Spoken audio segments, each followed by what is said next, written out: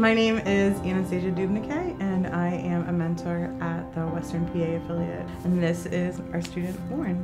We've known each other for all four years of ACE. Yeah, since 2015. Yeah. And um, Lauren came in really, really quiet, and Yeah.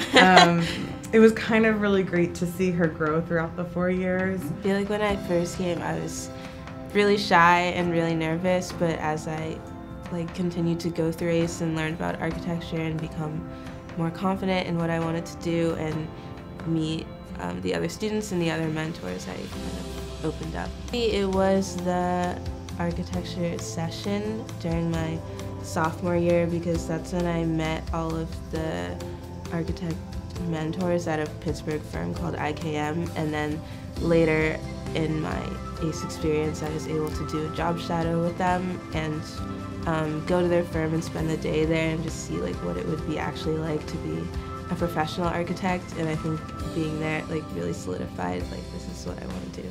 we like to show them all the aspects of of our industry to kind of um, you know make sure that they know that they're not just getting into architecture because their their mom or dad is um, but to show them there's a million different types of engineering there's different ways to use your architecture de- degree um, and how those kind of all integrate with each other so you know whether that means that they go to a session and they're like yeah i hate this it helps to help them solidify that this is what I want to go to school for and I'm not going to waste time or money.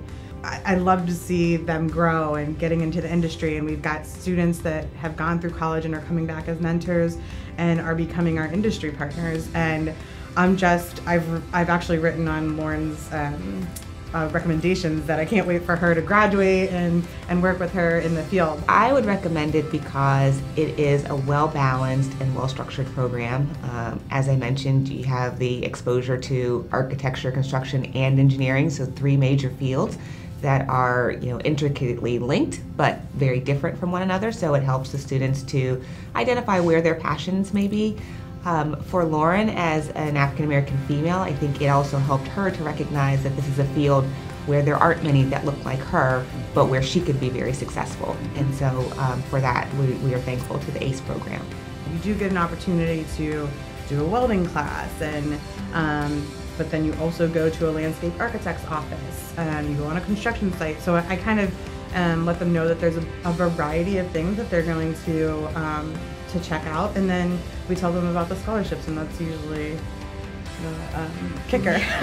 To all of the mentors and volunteers in Pittsburgh, Pennsylvania, thank you. To all the sponsors, thank you.